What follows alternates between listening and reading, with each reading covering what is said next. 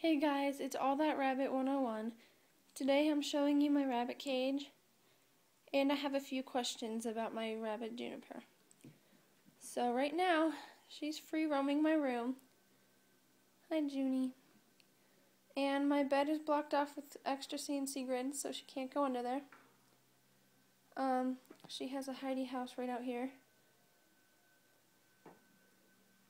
And yeah.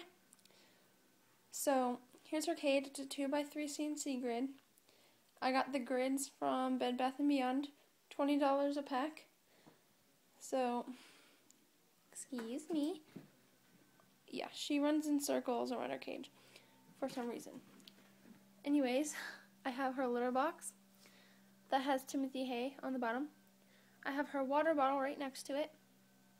She has a loofah chew and a wooden ball chew she has what's left of a carrot chew.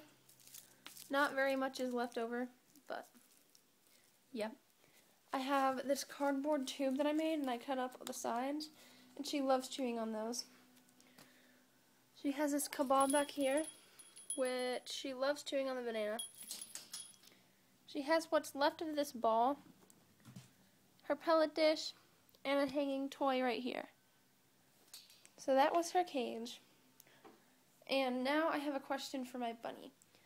I was wondering what type she is. I think she's a mixed breed because lion heads are not normally that big, and she's going up there again. Um, as you can see, right by her leg, there's those tufts of fur. Juniper, no.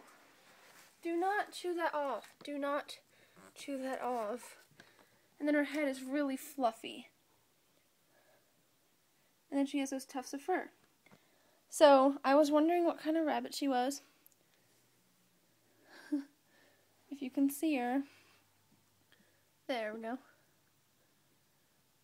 So, just do me a favor and comment down below what type of mixed breed she is.